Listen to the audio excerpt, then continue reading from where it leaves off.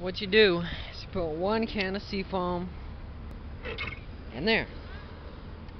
And now second one, connect your vacuum line.